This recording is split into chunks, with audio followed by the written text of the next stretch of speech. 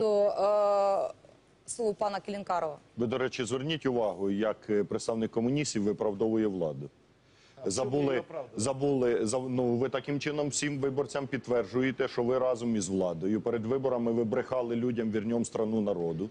Після виборів ви Если від- вы мне Дозвольте, покажете в коли ви- программе хотя бы одной политической товарищ партии Келінкаров, сенсорную кнопку, то я скажу, что вы Товариш не брехали. Келінкаров, коли ви виступали, я уважно слухав ваші думки, які доволі цікаві. Дозвольте, я висловлю свої. Так от перед виборами ви казали вірньом страну народу. Після виборів ви без будь-якої сенсорної кнопки віддали країну на Я розтер... вам уже отвечал на этот віддали вопрос. країну на Мы розтерзання страну народу олігархам. начали возвращать и вернули Луганск в воду. а, а об этой ситуации Від- вы, как никто другой в этой віддали студии, країну знаете. на розтерзання олігархам, а тепер захищаєте. Щодо сенсорної кнопки, е, ну цілком очевидно, що є припис конституції, що депутат має голосувати особисто.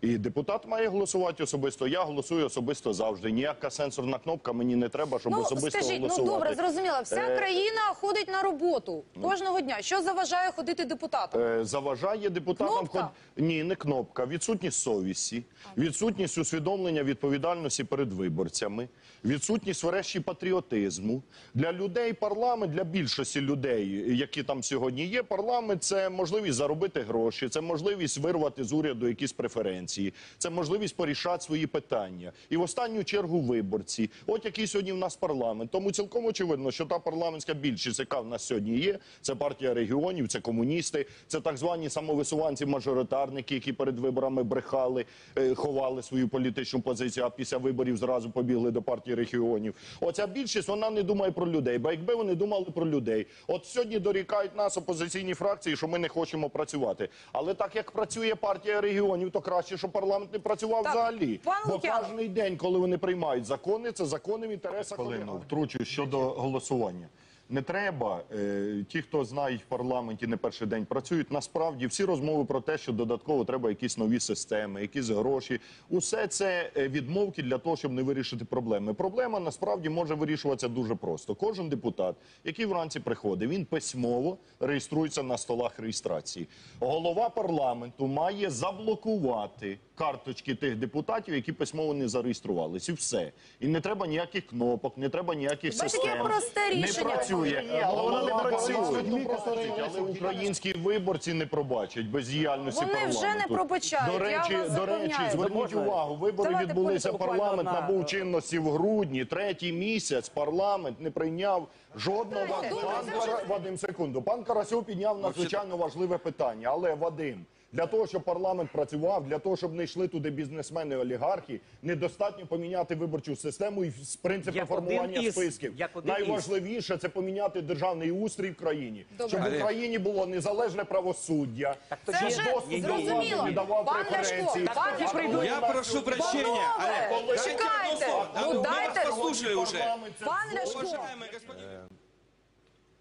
Пан Корнілов визнав, що закон, який прийняли в Росії про заборону усиновлення дітей, це була відповідь на закон Магнітського. Тобто, фактично, діти стали заручниками в політичній боротьбі між Росією і Сполученими Штатами. От я дуже не хочу, щоб українські діти так само їх використовували в політичній боротьбі.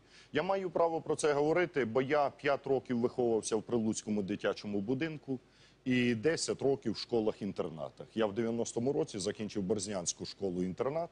І з 90-го року я живу і працюю в Києві. І хто як не я, краще від усіх отут присутніх, знає, як живуть отам діти.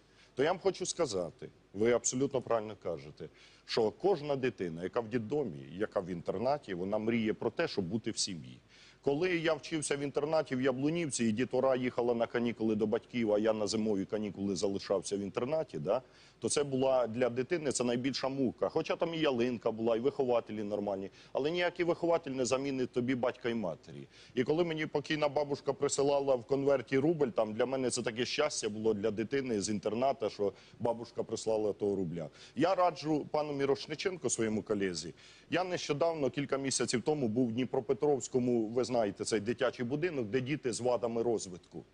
Е, поїдьте туди, от коли ви кажете, що ви проти усиновлення, поїдьте, подивіться на тих дітей.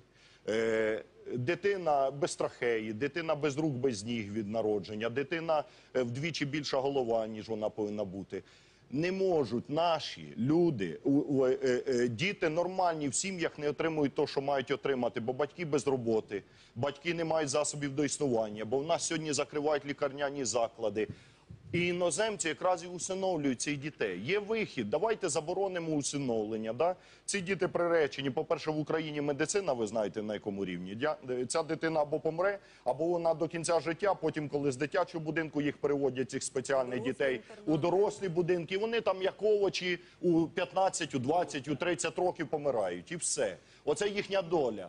Е, За кордоном вони мають шанс на нормальне життя. Тому я звертаюся до політиків. Перше, давайте ми не будемо робити дітей заручниками. Якщо ми хочемо, щоб у нас поповнювався генофонд, щоб у нас не скорочувалася чисельність населення, давайте ми дамо людям роботу. Давайте ми дамо людям гідну зарплату. Давайте ми молодим сім'ям дамо житло, щоб їм було де жити. Давайте ми заборонимо алкоголь, продаж вільний алкоголю, тютюну і так далі. І все. А брати, робити іноземців винуватими, що вони, бачите, усиновлюють наших дітей, та їм подякувати треба. Бо іноземці інколи, дозвольте, я закінчу, іноземці інколи усиновлюють тих дітей, хто наші ніколи їх не усиновлять.